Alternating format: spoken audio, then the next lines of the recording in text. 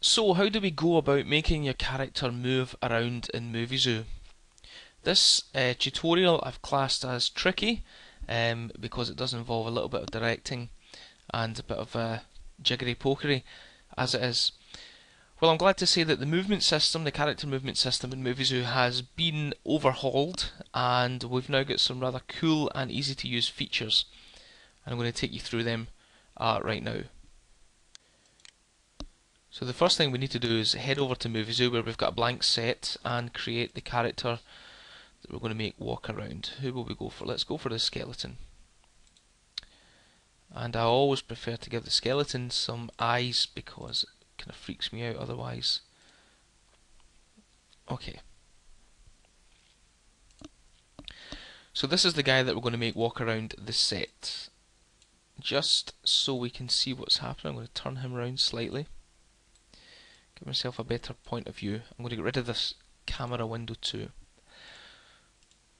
So, movement is unlike many of the other animation passes in movies in that it doesn't have a prepare thing doesn't have a prepare option because there's not really much that you can prepare.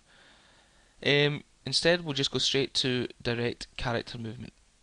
Now, again, like everything else, you get the little recorder window comes up, and you get the control panel for the movement. This is the bit that's been overhauled because we now have a lot more control over how the character walks around the set in Muvizu, and I'm going to show you those right now. Okay, so we've got three options normal, walking, only walk, or only run. The one that's currently highlighted, the normal walk, is the way that Muvizu traditionally handled character movement. So if you've been a, a, a long time user of Muvizu, this is the mode that you'll be more familiar with. Only walk and only run are new things. Let me show you the difference. I'm going to hit record, and with normal selected, what this means is you get a big disc up at the character's feet you move this disc around with the mouse and the character will follow the path that you draw. If the arrow goes red, the character will run to catch up. Get over there a little bit closer. You can see that you can also click on these icons on the disc which will make the character do sort of on the spot movements, step forwards and step sideways and what have you. That's the way Muvizu has worked traditionally. If you put it on only walk and drag this thing around, then the character will never run. So you can see the arrows going pink. The character will only ever walk to its destination. And now I wish I hadn't drawn such a long movement path because we're going to be waiting ages for him to catch up. Of course the opposite of that is if you select the only run option right here. I'm sure you can guess what's going to happen when I press only run. If we click on only run, then it doesn't matter where you move the disc, he'll charge around the set until he catches up with it. The cool thing is that if you have it switched on only walk and then decide, oh come on, hurry up, you just hit only run and you can control whether the character's walking or running. Now the actual uh, code underneath Muvizu that's uh, controlling all this movement stuff is as accurate as it can be, and sometimes where you intend the character to end up is not where he will go. So you'll see sometimes that when the character gets to his final position, there's a tiny little adjustment while Muvizu catches up, and that's because there's a whole bunch of complicated mathematics going on in the background, and one day we'll get Dave to do a tutorial to explain all that. Okay, so that was the three options. We've got normal, which is based on distance. The further away you drag the disc, that will induce a walk or a run, or you can force only walk and only run. Here's a cool new thing in Muvizu. You can double click and the character will go in a straight line to wherever you double click. With the normal mode selected, if you double click far away, then the character will run to get there. Although, just like the sort of drag and drop sort of thing, if you click only walk and double click, then you'll force the character just to walk to that position. That's a really cool feature. The next thing I'd like to show you, and this only works so long as we hit stop on the recorder, is the move on the spot mode. This is going to no doubt please all the people in our forums who have asked for it, but if you take this on the spot and hit record, then you'll see that by dragging the disc around doesn't actually move the character from the spot at all. So the character will follow your arrow but will never leave his spot. You can use that effect with a backdrop that's perhaps scrolling and you can it's as if the character's on a treadmill. So of course let's go to the timeline and see what all those sort of movement options mean for the character. I'll zoom out. Oops. We'll zoom back in on that. You can see all the movement options have appeared in the timeline. And if we rewind all the way back to the start, where's our skeleton gone? Ah, nice down there. We can adjust all these little options around and edit them just as we can any other event in Muvizu. If you're not happy with any of the uh, any of the movement that you've recorded, this little bin icon right here will delete all the events on that track. Now that leads to some predictable results if your character is back at the start. So if we've rewound the timeline all the way back to time zero and you hit delete, then you know the character will remain where he was at the start. If you've scrubbed through and you hit delete, then you get some small sort of shifts in that. But by and large, it will send the character back to where he was at the beginning of the movement. Okay, one other thing I'd like to say. Let's say you want to do some accurate movement. Okay, let's spawn an object in here, the pool table, for example. Let's just say that you want the character to walk right up to a specific point right at that pool table. Sometimes that's quite hard to do in Muvizu, and I'll show you what I mean. Let's go to Direct, Character Movement, move all this out the way. Um, we'll leave it on normal mode, we'll take off the spot, hit record. No, we won't. We'll escape that actually. I want to rewind first of all. Okay, now hit record.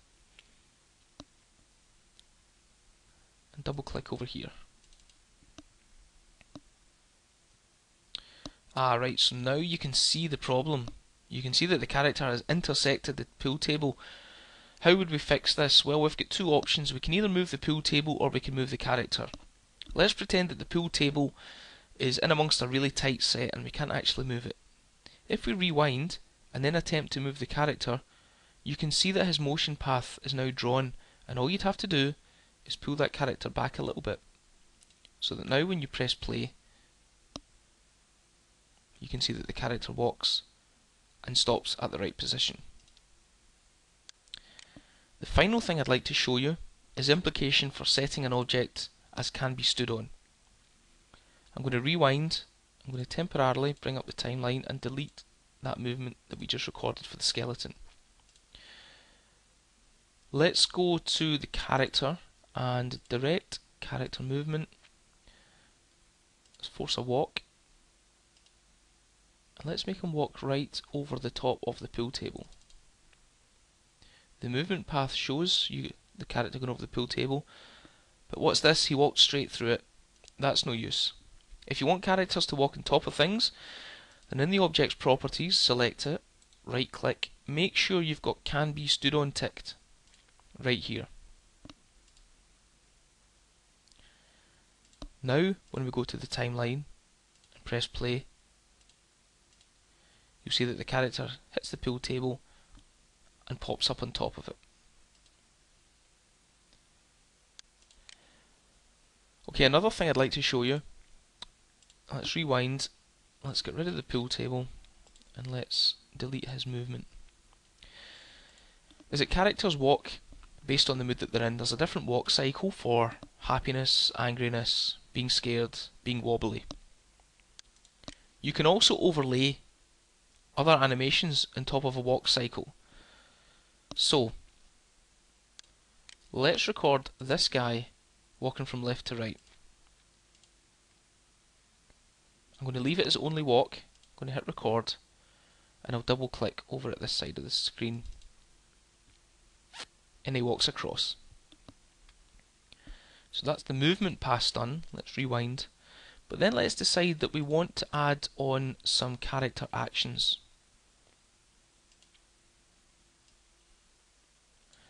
So remember that characters are mood based in Muvizu.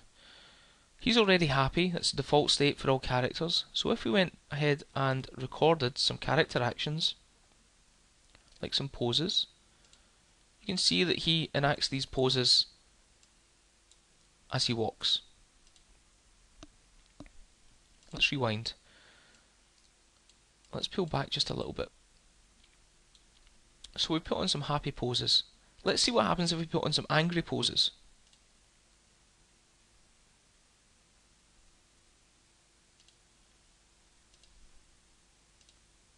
You can see that these are overlaid on top of the movement, leaving the character in an angry mood.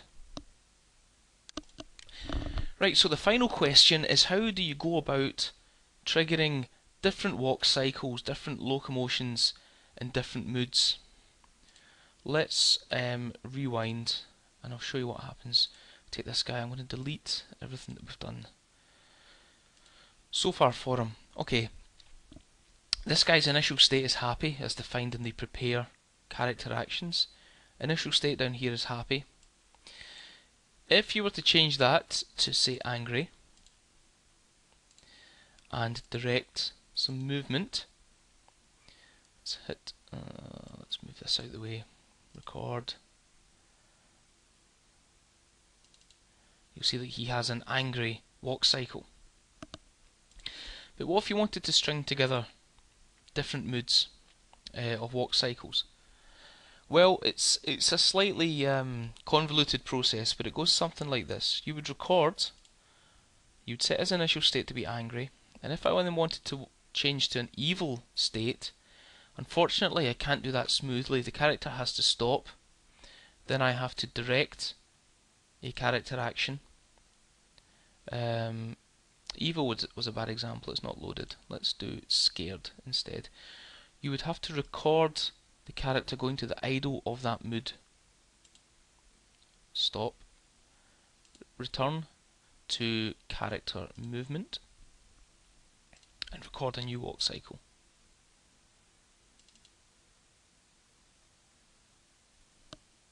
And there we can see that the character is now scared. So let's watch that in total. We set his initial state to angry. He walked across set in an angry fashion. Got to his destination. We then recorded a change to the scared idle. And lo and behold, the next time we trigger a locomotion event, he does so in a scared posture.